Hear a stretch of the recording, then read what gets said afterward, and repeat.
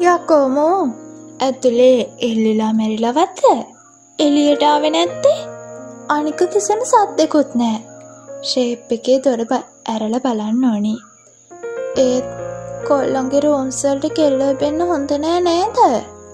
ඒත් මේ අපේ ගෙදරනේ. ඒ නිසා ඔන්නහ කමක් නෑ.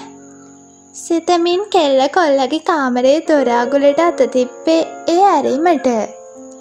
යක්කෝ මූ දොරත් ලොක් කරං. මාර එකෙක්නේ හිත හිතා කෙල්ල පහලටාව ඩින එක ගන්න. පහලත් නෑ.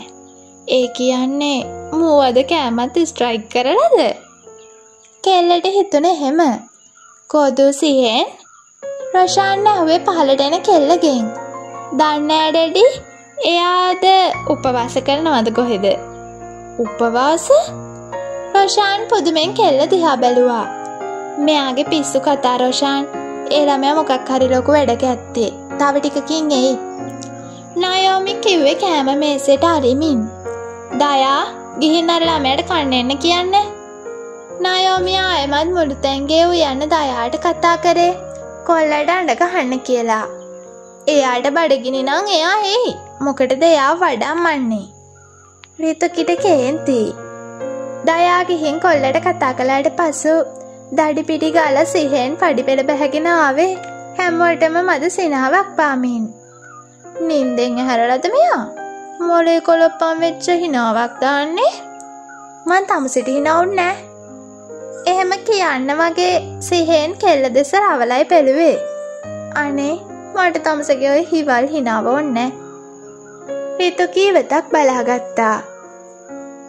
සිව් දෙනාම කෑම ගත්ත එකට ඒක හැමදාම අනිවාර්යෙන් සිදුවෙන පුරුද්දක්.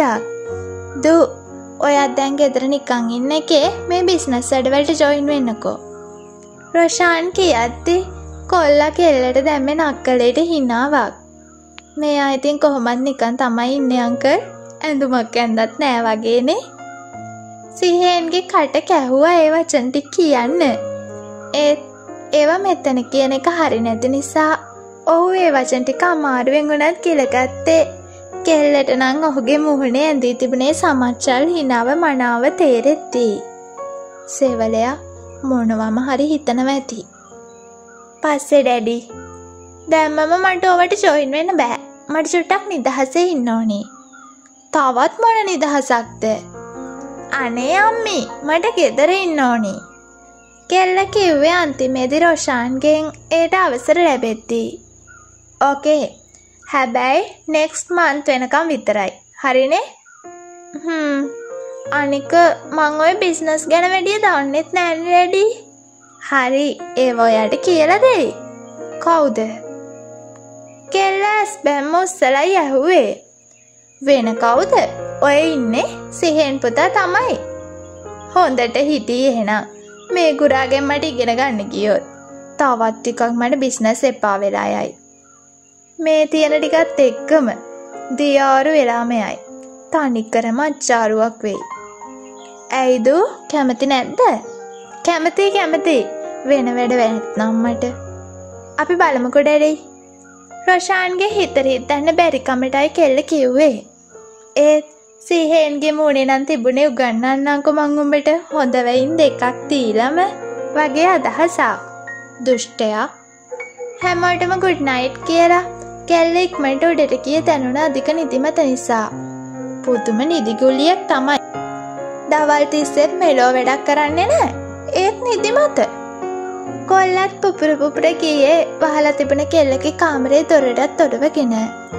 පව්වදව්දේ රිතුකිය හැරල කාමරෙන් එලියට ආවේ ෆෝර්න් එකත් ඔබ ඔබ. කෙල්ල පල්හර යන්න හදත්තිම එක පාටම ඇගේ අතින් ෆෝර්න් එක උදරගත්ත ස්ත්‍රීහෙන්. යකෝ ඔය මගේ ෆෝන් එක. නිදිවිකාරෙන්ද තාමමු? මේ අහිතාගෙන ඉන්නේ. මං එයාගේ ෆෝන් එක ගත්තා කියලවත්ද එහෙම ඩයල් එකක්නේ පිස්සුනේ. ඔය මගේ ෆෝන් එක. කෙල්ල එක ටිකක් සද්දෙටයි කිව්වේ. දන්නවා. යකෝ දන්නවනං ගත්තේ? ආ මම ෆෝන් එකට අල්දතෙන් දාපු හෙලෝ කිටි බැක් කව එක බලන්නවත්ද එහෙමත් නෑ. කොල්ලගේ ඇස්ස ඒකෙන් ස්ක්‍රේන් එක මත එහා මෙහා දිව යනවා. මොනවද යකෝ මූ මගේ ෆෝන් එකේ මෙච්චර හොයන්නේ? නිදානයක් වත්ද?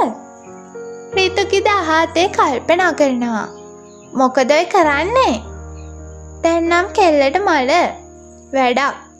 මොකක්ද තමසට මගේ ෆෝන් එකේ ඔච්චර කරන්න තියෙන මහලොකු වැඩේ. වැඩේද? එහෙම කියලා සිහෙන් කෙල්ලට රැව්ව රැවිල්ලා කෙල්ලට උන් හිටි තැන් පවා අමතක වෙන්නම. හරි ඉතින් ඔච්චර රවන්නැතුව කියහං ශේප් එකේ අපි ඔවා විසඳ ගමු. ඉතින් යාළුවනේ කතාව ඊළඟ කොටසින් අපි ඉක්මනින් හමුවෙමු. මේ කතාව රචනා කළේ අපේ මදුසංක බස්නායක අයියා. කතාව ගැන අයට හිතන දේ පහලින් කමෙන්ට් එකකින් දාගෙන යන්න. ගිහින් එන්නම්. මං ඔයාලගේ සුකිරී